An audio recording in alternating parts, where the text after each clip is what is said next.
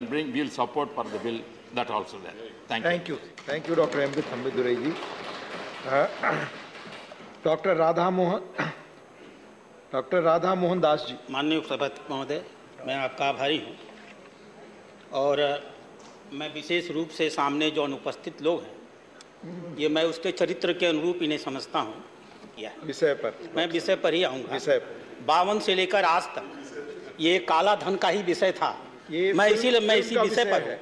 ये काले धन का ही विषय था सारा फ़िल्म का विषय है डॉक्टर साहब। और हम हमने आपको बात गर्व का एहसास कर सकते हैं। रूल्स जानते हैं फ़िल्म पर वो मैं आभारी हूँ आपका और हम गर्व का एहसास करते हैं कि जब से माननीय प्रधानमंत्री की ज़ीरो टॉलरेंस की सरकार आई है हमने हाउसिंग स्कीम की पायरेसी रोकी है हमने राशन कार्ड की पायरेसी रोकी है हमने गैस के सप्लाई की पायरेसी रोकी है और आज मैं बधाई दूँगा माननीय मंत्री जी को कि आज उन्होंने एक बहुत महत्वपूर्ण विषय पर पायरेसी रोकने के लिए इस कानून को लाने का काम किया है।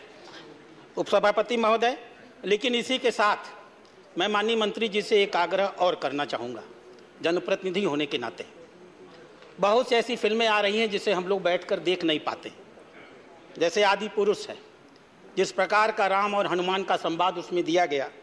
जैसे पीके है, जहाँ भगवान शिव को एक एलियन से डर करके शौचालय में भागते हुए दिखाया गया।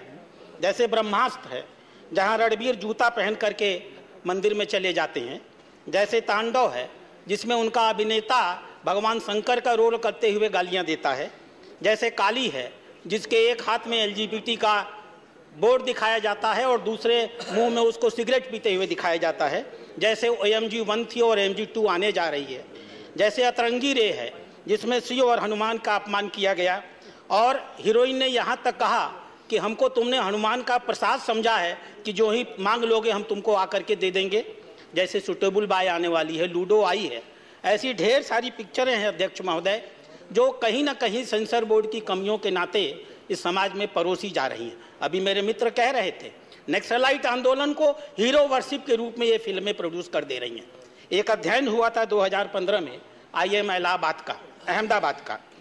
बासठ प्रतिशत फ़िल्मों में जो बेईमान दिखाए गए वो बनिए थे।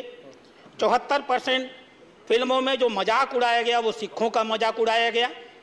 अठहत्तर परसेंट फ़िल्मों में जहाँ बच्चलन महिलाएँ दिखाई गईं, उन्हें ईसाई बता दिया गया।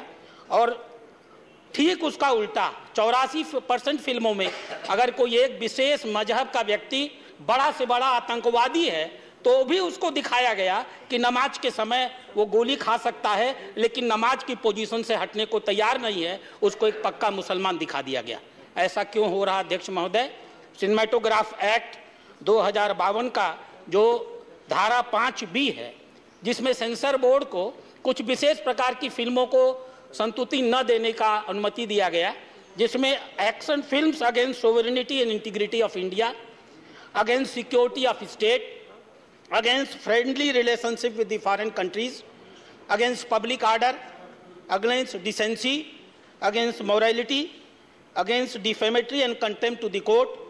और आश्चर्य की बात है डिफेमेशन ऑफ़ कोर्ट तो है डिफेमेशन ऑफ़ रिलीजन और लोगों की धार्मिक भावनाओं को भड़काने वाली ऐसी फ़िल्मों के खिलाफ कोई भी कानूनी प्राविधान नहीं किया गया है इसलिए माननीय मंत्री जी से उनके इस विधेयक का पूरे दिल से, तहे दिल से समर्थन करता हुआ उनसे आग्रह करूँगा कि मैं जनभावनाओं को उनके बीच में रख रहा हूँ, वो उस पर भी विचार करेंगे। धन्यवाद।